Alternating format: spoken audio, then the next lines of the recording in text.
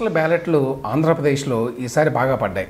గత ఎన్నికలతో పోలిస్తే దాదాపుగా రెట్టింపుగా ఈసారి ఉద్యోగులు పోస్టల్ బ్యాలెట్ను ఉపయోగించుకున్నారు. దానికి కారణం ఏంటంటే ఉద్యోగులకి జగన్మోహన్ రెడ్డి గారి ప్రభుత్వం మీద తీవ్రమైన వ్యతిరేకత ఉన్నది.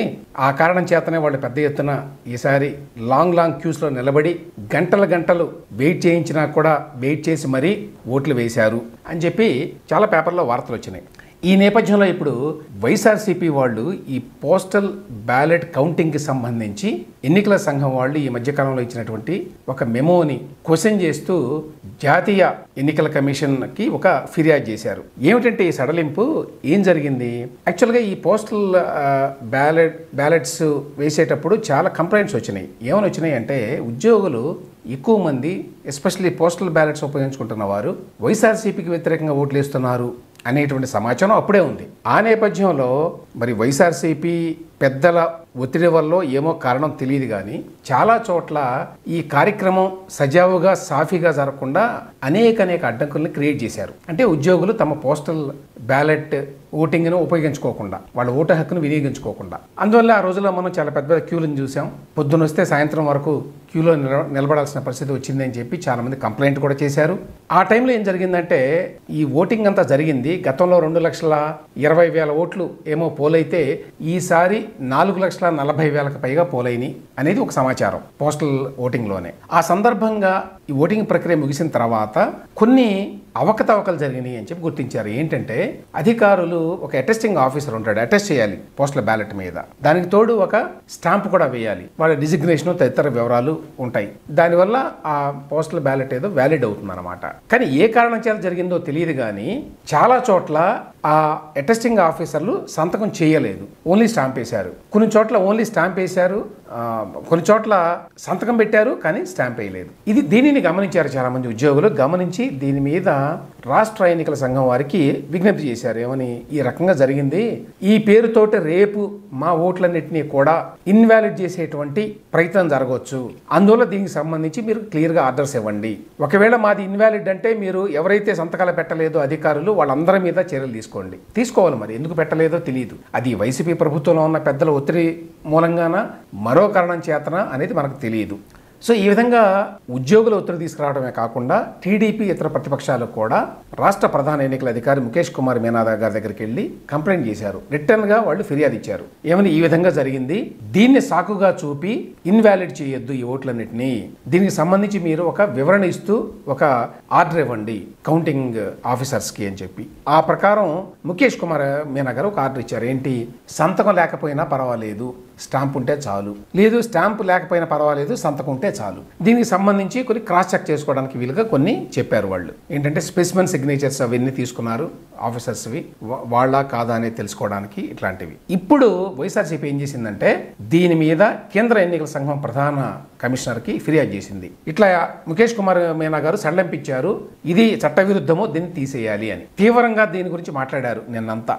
ఇవాళ సాక్షిలోను ఇతర పత్రికల్లో కూడా ఈ వార్త వచ్చింది. పోస్టల్ బ్యాలెట్ నిబంధనల మినహాయింపుల మీద ఆక్షేపణ అని. ఎందుకు వీళ్ళు ఆక్షేపిస్తున్నారు అంటే వైఎస్ఆర్సీపీకి స్పష్టంగా తెలుసు ఈసారి దాదాపుగా పడినటువంటి ఐదు లక్షల పోస్టుల ఓట్లలో ఎక్కువ భాగం వైఎస్ఆర్సీపీకి వ్యతిరేకంగానే పడినాయి. కాబట్టి ఫలితం మీద దీని ప్రభావం చాలా ఉండే అవకాశం ఉంటుంది. ఇంకొక విషయం ఏంటంటే రేపు నాలుగవ తేదీన ఉదయం ఎన్నికల కౌంటింగ్ ప్రారంభం కాగానే మొదట కౌంట్ చేసేది పోస్టల్ బ్యాలెట్లని. సో స్టార్టింగ్లో పోస్టల్ బ్యాలెట్ రిజల్ట్ వస్తుంది. లాస్ట్ టైం రెండు వేల పంతొమ్మిదిలో కూడా పోస్టల్ బ్యాలెట్స్ ఎక్కువగా వైఎస్ఆర్సీపీ పార్టీకే అనుకూలంగా వచ్చినాయి. అప్పుడే తెలిసిపోయింది ట్రెండ్ ఎట్లా ఉందో. ఈసారి కూడా అదే విధంగా పోస్టల్ బ్యాలెట్ లెక్కింపు ముందు జరుగుతుంది కాబట్టి అందులో కూటమి అభ్యర్థులు కి ఎక్కువగా అనుకూలంగా వచ్చినాయి అనుకోండి అప్పుడు ట్రెండ్ జనానికి తెలిసిపోతుంది. దానివల్ల సెంటిమెంటల్గా కూడా దెబ్బతింటారు పొద్దున్నే. అసలు యాక్చువల్ కౌంటింగ్ స్టార్ట్ కాకముందే అనే ఉద్దేశంతో వైఎస్ఆర్సీపీ ఆందోళన చెందుతోంది. అందులో సందేహం లేదు. దానికి తోడు వీటిని గనక ఇన్వాలిడ్ చేయగలిగితే మ్యాక్సిమం ఓట్లని కూటమికి వచ్చేటువంటి ఓట్లని తగ్గించవచ్చు ఆ ఉద్దేశంతో చాలా బలంగా దీన్ని తీవ్రంగా వ్యతిరేకిస్తున్నారు. కేంద్ర ఎన్నికల సంఘం దగ్గరికి ఎవరు వెళ్ళారు? ఎస్. నిరంజన్ రెడ్డి గారు అని చెప్పి జగన్మోహన్ రెడ్డి గారు రాజ్యసభ సభ్యుడిగా ఆయన చేశాడు తెలంగాణకు చెందినవారు. ఆయన జగన్మోహన్ రెడ్డి గారు కేసుల్ని వాదిస్తాడు సుప్రీంకోర్టులోను తెలంగాణ హైకోర్టులో. ఆయన ఇప్పుడు వైఎస్ఆర్సీపీ రాజ్యసభ సభ్యుడు కూడా. ఆయన చేత పంపించారు ఎందుకంటే ఆయన లీగల్ పర్సన్ కాబట్టి ఆయనకి అన్ని తెలుసు కాబట్టి కన్విన్స్ చేయగలడు కేంద్ర ఎన్నికల సంఘాన్ని అని. ఆయన ఏమో కొన్ని రూల్స్ అవన్నీ కోట్ చేసుకుంటూ ఒక లెటర్ రాసి తీసుకెళ్ళి ప్రధాన ఎన్నికల కమిషనర్కి ఆ ఫిర్యాదుని ఇచ్చాడు. దాంతోపాటు వైవి సుబ్బారెడ్డి గారు ఇతర వైసీపీ నాయకులందరూ కూడా నిన్న పెద్ద ఎత్తున స్టేట్మెంట్ ఇచ్చారు. వైవి సుబ్బారెడ్డి గారు ఏం చెప్పారంటే మేము హైకోర్టు కూడా వెళ్తాము దీని మీద. మేము ఎట్టి పరిస్థితుల్లో దీన్ని అలో చేయలేము అని చెప్పారు. ఈసీ సడలింపుపై హైకోర్టుకు వెళ్తాం. ఎన్నికల కమిషన్ వ్యవహార శైలిపై కోర్టులోనే తెలుసుకుంటాం. దేశమంతా ఒక ఏపీలో కూటమి కోసం ప్రత్యేక రూలా అని చెప్పి రాజ్యసభ సభ్యుడు వైవి సుబ్బారెడ్డి గారు అన్నారని చెప్పి కూడా రాసుకున్నారు. సో ఇప్పుడు ఏమవుతుందో చూడాలి. దీని మీద కేంద్ర ఎన్నికల సంఘం వారు ఎట్లా స్పందిస్తారు? ఎందుకంటే ఇంకొక మూడు రోజుల్లోనే ఎన్నికల కౌంటింగ్ ప్రారంభం కాబోతోంది.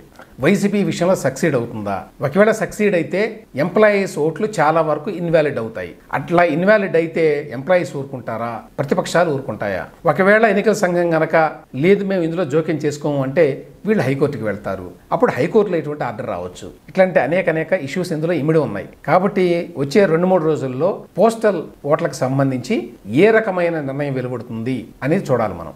ఎస్ఐండ్ భూములకు సంబంధించి నేను ఈ మధ్యకాలంలో కొంత మాట్లాడాను. చాలా ఇంపార్టెంట్ ఇష్యూ కానీ దాన్ని చాలా మంది సరిగ్గా అర్థం చేసుకోలేదు అనుకుంటున్నాను నేను ఆ వీడియో చేసినప్పటికీ. ఎందుకంటే అది కొంచెం కాంప్లికేటెడ్ ఇష్యూ మిగతా రాష్ట్రాల్లో లాగానే ఆంధ్రప్రదేశ్లో కూడా దళితులకి స్వాతంత్రం వచ్చినప్పటి నుంచి ఆయా ప్రభుత్వాలు భూములు ఇచ్చినాయి. ఎకరం నుంచి ఐదు ఎకరాల వరకు. ఆ ఇచ్చిన భూముల్ని అమ్ముకోవడానికి వీలు లేదు. అవి నాన్ ట్రాన్స్ఫరబుల్ అని చెప్పి చట్టం చెప్తోంది. దానికి సంబంధించి ఒక యాక్ట్ ఉన్నది. అందువల్ల దళితుల భూములు ఎవరైనా కొన్నా కూడా అదంతా అనఫీషియలే కానీ అఫీషియల్గా మీరు మీ పేరు మీద ఆ భూమి ట్రాన్స్ఫర్ కావడానికి వీల్లేదు. అది చట్టం. ఎందుకు పెట్టారు ఈ చట్టాన్ని అంటే దళి దళితులు బలహీనలు కాబట్టి వాళ్ళ మీద పెత్తనం చేసి పెత్తందారులు ఎవరైనా సరే ఎంతో కొంత డబ్బు ముట్ట చెప్పి ఆ భూములు లాగేసుకుంటారు. ఒకవేళ అట్లా లాగేసుకున్నా కూడా చట్ట అది చట్టబద్ధం కావడానికి వీల్లేదు. చట్టబద్ధం కాకపోతే ఆ దళితులు ఎవరైనా ఎప్పుడైనా సరే మళ్ళీ రీక్లెయిమ్ చేయొచ్చు. ఇది మా భూమి అని. ఎందుకంటే వాళ్ళ పేరు మీద మాత్రమే ఉంటుంది డాక్యుమెంట్స్లో. ఆ ఉద్దేశంతో పెట్టారు. ఇది ప్రొటెక్షన్ రక్షణ దళితులకి. ఇది ఇన్ని సంవత్సరాలుగా కొనసాగుతోంది. స్వాతంత్రం వచ్చినప్పటి నుంచి.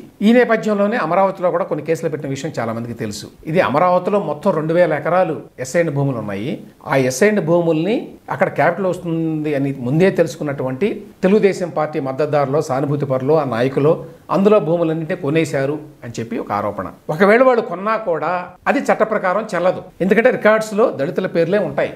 గవర్నమెంట్ వాళ్ళకి మాత్రమే పరిహారం ఇవ్వగలదు. అది అక్కడ తేడా. కానీ ఇప్పుడు జగన్మోహన్ రెడ్డి గారు ఏం చేశారు? మొన్న ఇరవై ఇరవై మూడులో ఒక చట్టాన్ని తీసుకొచ్చాడు. ధర్మాన ప్రసాదరావు గారిని మిగతా వాళ్ళని పెట్టుకొని వాళ్ళ చేత చేయించాడు ఈ పనులన్నీ. ఏమిటంటే దళితులు అనగా ఎస్ఐండ్ భూముల్ని అమ్ముకోవచ్చు కొనుక్కోవచ్చు. ఇది చాలా పెద్ద చర్య. ఇది మామూలు యాక్షన్ కాదు ఇది. ఇది కనుక మరే ప్రభుత్వం అయినా చేసి ఉంటే ఎస్పెషల్లీ చంద్రబాబు నాయుడు ప్రభుత్వం చేసి ఉంటే పెద్ద ఎత్తున అల్లరయ్యేది అని చెప్పి నేను గతంలో ఒక వీడియోలో మాట్లాడాను. కానీ గమ్మత్తుగా దీని గురించి ఎవరూ పెద్దగా స్పందించలేదు. ఇన్ని సంవత్సరాలుగా స్వాతంత్రం వచ్చినప్పటి నుంచి ఇప్పటి వరకు డెబ్బై ఏళ్ళకి పైగా ఉన్నటువంటి ఒక చట్టాన్ని మార్చి దళితుల భూముల్ని ఎవరైనా కొనుక్కోవచ్చు. ఇది అఫీషియల్ అని చెప్తూ చట్ట సవరణ చేస్తే దాన్ని స్పందన లేదు. ఇవాళ ఈనాడులో ఆంధ్రజ్యోతిలో రెండు పెద్ద కథనాలు వచ్చినాయి దీని మీద. దీంతో పాటు రెండు రోజుల క్రితం retired IAS officer P V Ramesh garu కూడా దీని మీద రాస్తూ ఇది అత్యంత ఘోరమైన విషయం ఈ చట్టాన్ని తీసుకురావడం. ఈ చట్టాన్ని తీసుకురావడం ద్వారా దళితులకి ఆంధ్రప్రదేశ్లో ఉన్న భూములన్నింటినీ పెత్తందారులు లాగేసేటటువంటి అవకాశం ఉంటుంది. ఎవరికి ఎకరం భూమి కూడా భవిష్యత్తులో ఉండేటువంటి అవకాశం లేదు. దీని మీద చర్యలు తీసుకోవాలి అని చెప్పి ఆయన కేంద్ర ప్రభుత్వంలో ఉన్న పెద్దలందరినీ కూడా ట్యాగ్ చేస్తూ ఒక ట్వీట్ చేశాడు. ఈ రోజు వీళ్ళు రెండు కథనాలు రాశారు. ఈ రెండు కథనాల యొక్క సారాంశం ఏంటంటే ఎస్పెషల్లీ విశాఖపట్నంలో పెద్ద ఎత్తున దళితుల భూముల్ని కాజేసేందుకే ఈ చట్టాన్ని తీసుకొచ్చారు.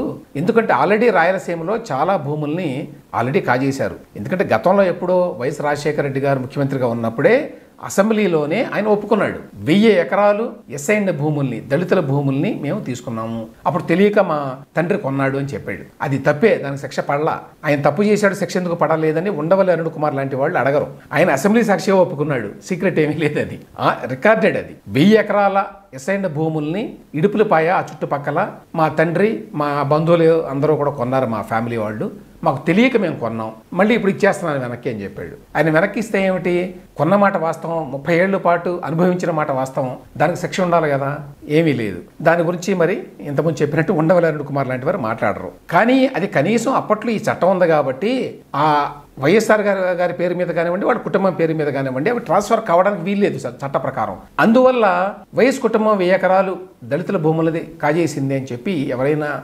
ఆరోపించడానికి ఆధారాలు ఉన్నాయి. ఇప్పుడు అటువంటి ఆధారాలు ఏమీ లేకుండా జగన్మోహన్ రెడ్డి గారు చక్కగా చట్ట సవరణ చేశాడు.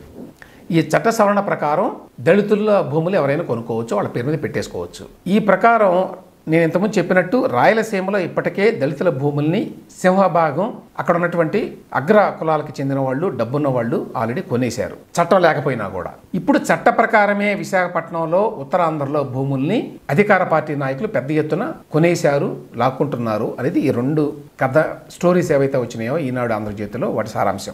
లక్షల ఎకరాల ఎస్ఐండ భూములు కొట్టేసే కుట్ర అని చెప్పి ఈనాడు వాళ్ళు రాశారు. ఇదేంటంటే ఇప్పుడు ఎన్- ఎన్నుంటాయి భూములు అనేది అంటే ఒక అంచనా ఏంటంటే పాతిక లక్షల పైగా ఉంటాయి. ఈ చట్టంలో ఏం చెప్పారంటే ఇరవై ఏళ్ళకు పైగా కనుక అయితే ఈ భూములు ఇచ్చి ప్రభుత్వం వాటిని అమ్ముకునేటువంటి హక్కు దళితులకు ఇస్తున్నాము అని చేశారు చట్టం. అంటే చూడడానికి చాలా బాగుండాలి కదా. వేరే వాళ్ళు కొనుక్కోవచ్చు అని కాదు దళితులు అమ్ముకోవచ్చు అని చెప్పి రాశారు. ఇరవై ఏళ్ళకు పైగా కనుక అయి ఉంటే వాళ్ళకి ఆ భూములు వచ్చి ప్రభుత్వం ఇచ్చి. సో ఆ ప్రకారం రెండు వేల మూడు తర్వాత దళితులకి ప్రభుత్వాలు ఇచ్చిన భూములు అన్నమాట. ఈ భూములు ఇరవై ఐదు లక్షల ఎకరాలకు పైగా ఉంటాయి అనేది ఒక అంచనా. ఇంకా ఎక్కువే ఉండొచ్చు. సో ఈ ఇరవై ఐదు లక్షల ఎకరాలని లో ఎక్కువ భాగాన్ని ఇప్పుడు బయట వివిధ కులాల వాళ్ళు ఎవరైనా సరే కొనుక్కోవచ్చు. ఆ రకంగా అధికార పార్టీకి చెందిన నాయకులు ఆల్రెడీ ఐడెంటిఫై చేసి ఉత్తరాంధ్రలో విశాఖపట్నంలో ఆ భూముల్ని ఈ చట్టాన్ని తీసుకొచ్చి వాటిని ఇప్పుడు అఫీషియల్ చేసుకున్నారు అనేది కథనం అండి. ఇది రెండు పేపర్లో వచ్చింది. ఇది ఈనాడులో వచ్చింది జ్యోతిలోనేమో భూ బకాసర్లు అని వచ్చింది. ఆల్రెడీ విశాఖపట్నం ఆ ప్రాంతంలో అరవై ఐదు వేల ఎకరాలు పెద్దల పరమైనవి అని చెప్తున్నారు. వాటి విలువ పదమూడు వేల కోట్ల పైనే. ఇందులో కొన్ని అతిశయోక్తులు ఉండొచ్చు. కానీ విషయం ఏంటంటే జగన్మోహన్ రెడ్డి గారు ఈ చట్టాన్ని చేయడం నిజం. ఇటువంటి చట్టాన్ని చేసినప్పుడు నేను గతంలో చెప్పినట్టు దళిత మేధావులు కానీ ఇతర సివిక్ సొసైటీకి సంబంధించినటువంటి పెద్ద పెద్దలు కానీ ఎవరు దాని గురించి మాట్లాడాల. విశాఖపట్నంలో ఉండేటువంటి రిటైర్డ్ అయ్యే అధికారి ఏ శర్మ గారు మాత్రం ఒక లేఖ రాసినట్టున్నారు దాని మీద. మిగతా పెద్దగా ఎక్కడ స్పందన రాలా. అదే గనక చంద్రబాబు నాయుడు ప్రభుత్వం చేసుంటే దళితుల భూములను కొల్లగొట్టడానికి తెలుగుదేశం పార్టీ వాళ్ళు చంద్రబాబు నాయుడు గారు ఆయన సామాజిక వర్గం వాళ్ళు కుట్ర పన్నారని చెప్పి పెద్ద పెద్ద కథనాలు రాసేవాళ్ళు. యూట్యూబ్లో కూర్చొని మాట్లాడేవాళ్ళు. ఇప్పుడు ఎవ్వరు నోరెత్తి మాట్లాడాల దీని గురించి. ఇప్పుడు చెక్క చెక ఈ- రిజిస్ట్రేషన్లు జరుగుతున్నాయి. ఎస్పెషల్లీ ఉత్తరాంధ్రలో విశాఖపట్నం చుట్టుపక్కల అనేది కథనాలు. మొన్న జవహర్ రెడ్డి గారి మీద జనసేనకు చెందినటువంటి పీతల మూర్తి యాదవ్ అని ఆయన ఒక స్టేట్మెంట్లు ఇచ్చాడు. ఏంటి? ఇట్లా కొన్ని వందల ఎకరాలని సీఎస్గా ఉన్నటువంటి జవహర్ రెడ్డి గారు వాళ్ళ అబ్బాయి పేరు మీదనో ఎవరో బినామీలను పెట్టి వాళ్ళు ఈ విధంగా దళితుల భూములు కొనేసుకుంటున్నారు అని. అది కూడా దీనికి సంబంధించింది. ఇదంతా ఎందుకు జరుగుతోంది అంటే జగన్మోహన్ రెడ్డి గారు చేసినటువంటి చట్ట సవరణ మూలంగా అమ్ముకోవచ్చు అని చెప్పి చెప్పటం వల్ల ఇవాళ పెద్ద ఎత్తున భూములు కొనుక్కోవడానికి అవకాశం ఏర్పడింది. ఉత్తరాంధ్రలో విశాఖపట్నంలో ఎక్కువ ఉన్నాయి ఇప్పుడు. దీని మీద పెద్ద స్థాయిలో ఉద్యమం జరగాల్సి ఉంది. ఎందుకంటే ఇప్పుడు ఒక వాదన ఉంది. దళితులు అమ్ముకోవడానికి అవకాశం ఇస్తే మంచిదే కదా అని. అది ఒక వాదన. అందులో కూడా కొంత వాస్తవం ఉండి ఉండొచ్చు. ఎందుకంటే అమరావతిలో కొంతమంది కోటి రూపాయల ఎకరం అయినటువంటి నేపథ్యంలో చాలామంది దళితులు అమ్ముకోవడానికి మరి ముందుకొచ్చారు. ఎందుకంటే అంత వాల్యూ ఎప్పుడు రాదు. క్యాపిటల్ పేరుతో ఆ రోజున వాల్యూ వచ్చింది. అది ఇవ్వడానికి అంత డబ్బు ముందుకొచ్చారు చాలామంది. చాలా మంది కొంతమంది అమ్ముకున్న మాట కూడా వాస్తవం ఆ సందర్భంలో. ఆ విధంగా దళితులకు మేలే కదా దానివల్ల అనేది. అయితే ఇది పూర్తిగా రాష్ట్ర స్థాయిలో ఇటువంటి చట్టం చేసినప్పుడు ఇది మంచిదా కాదా అనే- దాని మీద విస్తృతంగా చర్చ జరగాలి పౌర సమాజంలో. దళిత మేధావులు కావచ్చు లేకపోతే ఇతర రంగాల్లో ఉండేటువంటి మేధావులు కావచ్చు ఆయా రంగాల్లో నిపుణులు కావచ్చు వీళ్ళంతా కూడా దాని మీద విస్తృతంగా చర్చ జరిపి అప్పుడు ఇందులో ఉన్న మంచి ఏమిటి చెడేమిటి అని ఒక నిర్ణయానికి వచ్చి అప్పుడు ఇటువంటి చట్టం చేస్తే మంచిదే. కానీ అటువంటిది ఏమీ జరగలేదు. జగన్మోహన్ రెడ్డి గారు అనుకున్నారు చట్టాన్ని చేసేశారు అంతే. కాబట్టి ఈ చట్టం మీద చర్చ జరగాల్సిన అవసరం ఉంది. కానీ ఈ లోపలే అధికార వైఎస్ఆర్సీపీ పార్టీ వారు పెద్ద ఎత్తున విశాఖపట్నం ఉత్తరాంధ్రలో భూములు కాజేస్తున్నారు కాబట్టి దీని మీద ఖచ్చితంగా రేపు ప్రభుత్వం మారితే కానీ లేకపోతే కనీసం కేంద్ర ప్రభుత్వం కానీ ఒక స్పెషల్ ఇన్వెస్టిగేషన్ టీంని వేసి ఇన్ని వేల ఎకరాలని ఎవరు దళితుల దగ్గర నుంచి కొనుక్కున్నారు లేక లాగేసుకున్నారు ఎన్ని ఎకరాలు ట్రాన్స్ఫర్ అయినాయి చేతులు మారినాయి దీని వెనక ఉన్న కథ ఏమిటి ఏ రకమైన కుట్ర జరిగింది అనేది వెలికి తీయాల్సిన అవసరం అయితే ఉంది. మార్గదర్శి విషయంలో ఎవరికేమీ పైసా నష్టం లేకపోయినా మన ఉండవల్లి అరుణ్ కుమార్ గారు విక్రమార్కుల్లాగా ఇరవై ఏళ్ళ నుంచి పోరాడుతున్నాడు కదండి. ఇప్పుడు అగ్రిగోల్డ్ ఆస్తులకు సంబంధించి చాలామంది బాధితులు ఉన్నారు వేలాది మంది బాధితులు. వాళ్ళకి న్యాయం చేయడం లేదు. జగన్మోహన్ రెడ్డి గారు ఏం చెప్పారంటే అప్పట్లో చంద్రబాబు నాయుడు ప్రభుత్వం న్యాయం చేయడం లేదు నేను ఇస్తే న్యాయం చేస్తానని చెప్పాడు. అందరికీ డబ్బులు ఇప్పిస్తాను అన్నాడు. అగ్రిగోల్డ్కి సంబంధించి ఆస్తులు కూడా ఉన్నాయి.